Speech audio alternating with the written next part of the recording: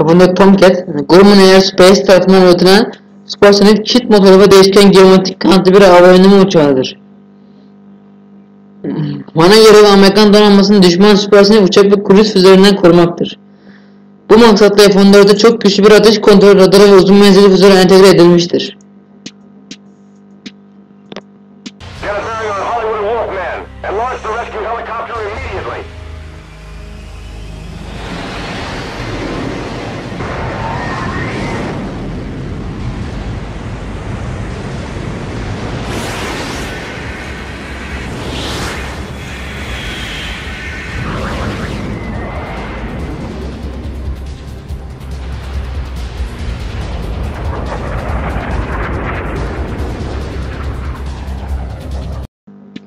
MiG-23 Mikoyan Grovik tarafından yönetilen değişken kanat yapısına sahip Rus yapımı savaş uçağı, 3. nesil bir savaş uçağıdır.